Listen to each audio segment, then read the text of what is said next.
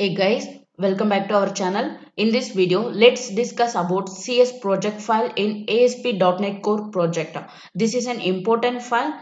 Now let's open this file by double click on name of your project to open CS project file. See here we have this uh, CS project file. You can open this file in another way. So let's close it.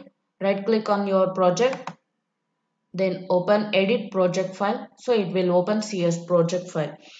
Okay. Here we have sdk um, microsoft uh, net dot sdk web.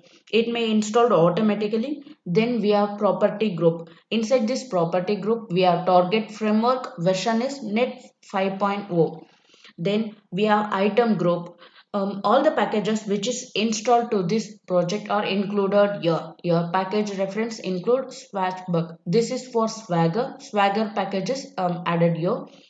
Um, the cs project file includes settings related to targeted .NET framework uh, then project folders NuGet package references etc thank you so much for watching this video